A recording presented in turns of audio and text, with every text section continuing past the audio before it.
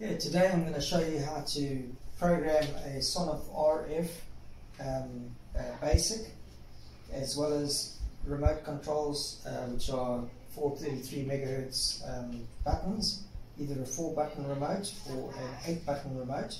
And they talk directly to this device. They don't need internet at all, both to program or to, um, to use with the device itself. And then I'm also going to show you how to program this to work together with the Sonoff uh, eWeLink app. Um, and the reason why I ended up doing this video today is that I had an inquiry or a, a, a question on a, a, pub that has um, five um, pool tables and what they want is to be able to control the lights um, and they want to make sure that when somebody's paid to use the pool table uh, that the light will only be on for an hour and at the end of the hour it will automatically turn off and then they can pay to have an extended hour as an example. So they would have five of these units and then they would choose which button they want to control each of the units when somebody is paid for it. So I'm going to go through the process quickly.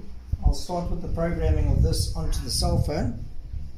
The reason why we need that is so that we can set up the um, inching service as it's called um, so that we can set this that after the hour it will turn off.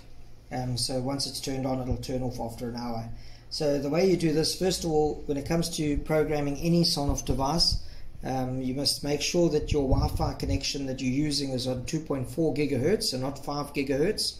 Otherwise, it doesn't work because the Sonoff device only works on 2.4 gigahertz.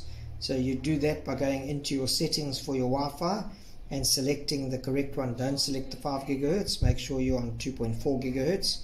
Once you're on there, um, to get into programming mode, you hold the black button down for 10 seconds until that light flashes three times on, once off, three times on.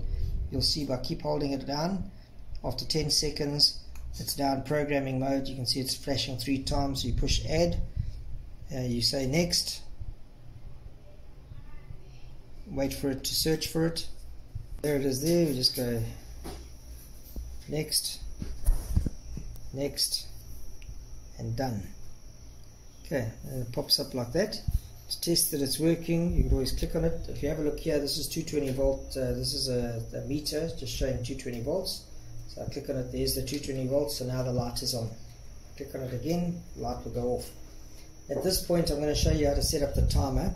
So if you go to the three little dots at the top there you look for an option over here called inching which is this over here inching settings.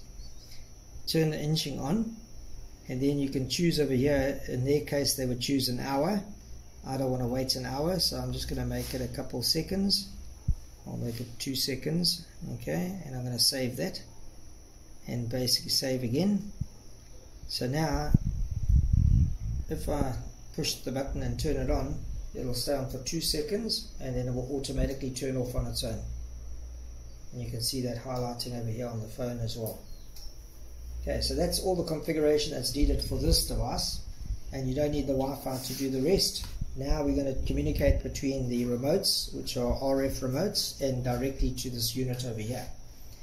And the way this works, uh, there's two programming modes. The first one, as I showed you, was after 10 seconds, where the blue light flashes three times on, once off, three, three times on, once off.